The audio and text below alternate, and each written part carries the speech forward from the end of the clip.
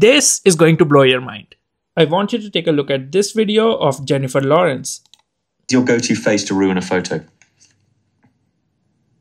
Solid. Yeah. There's also Mousy. Now take a look at this picture of Matthew McConaughey. Now this is where it gets insane. Your go-to face to ruin a photo.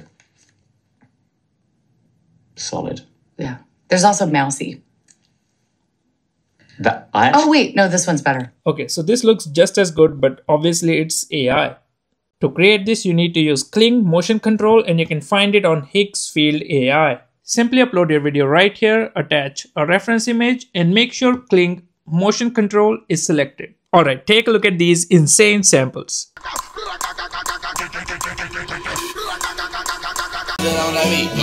Hey, monster on the beat, ho, Debo, any rap nigga, he a freak throw, sorry. I'm sorry. I'm not gang affiliated.